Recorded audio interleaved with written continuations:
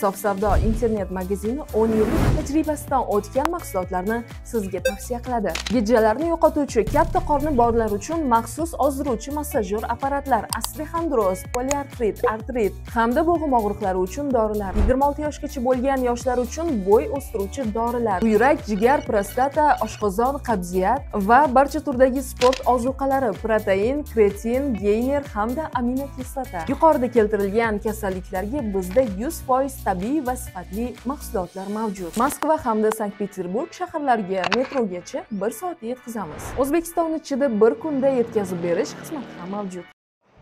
Assalomu alaykum aziz muxlis tolibon rossiyaning terrorizmga qarshi kurashdagi ittifoqchisi. Rossiya prezidenti vladimir putin tolibonni rossiyaning terrorizmga qarshi kurashdagi ittifoqchisi deb ta'rifladi. Tasavvur qilib ko'ring tolibon afg'onistonda mamlakatdagi hokimiyatni nazorat qiladi.